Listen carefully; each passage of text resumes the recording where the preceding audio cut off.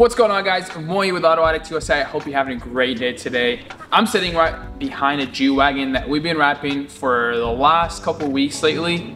And if I go into all the details that requires a G-Wagon to be wrapped the way that we show, it's insanely crazy. Without further ado, let's dive into what we're doing to this beautiful car and show you a quick highlight before we reveal the full video. Let's get started.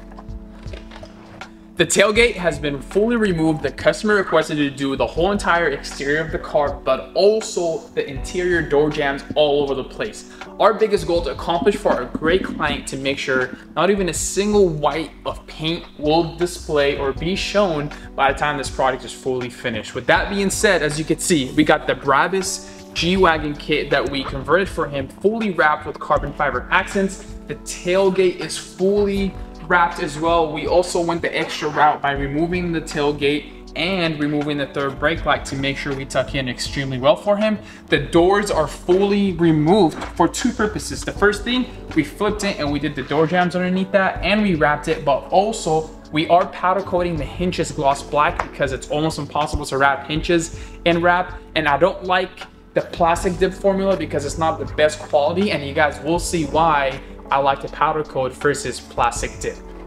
So this is what I mean by powder coating and check out the gloss shine on the hinges which gives it a really true authentic look to it. If if it's plastic dipped and a rock chip does hit it, unfortunately, the chip of the plastic dip will be exposed a lot faster than the powder coating service. So therefore we went the quality route by removing the doors him on the other side. This entire side is fully completed, but all we have left is the roof on top and the mirrors as well. But I'm super stoked for this project, guys. And let me take you guys to the front right here. As you can see, the entire hood has been removed. We removed the wipers. We also wrapped all around, going all the way inside to make sure no white is being exposed for him. And there's just so many parts on this project, guys. If I can't even, I can't even keep count of how many pieces we removed. We treated it way better than a paint job. Obviously, a paint job, we have to remove everything. We treated this just like a paint job, if not even better. We're super excited for the final results of this product.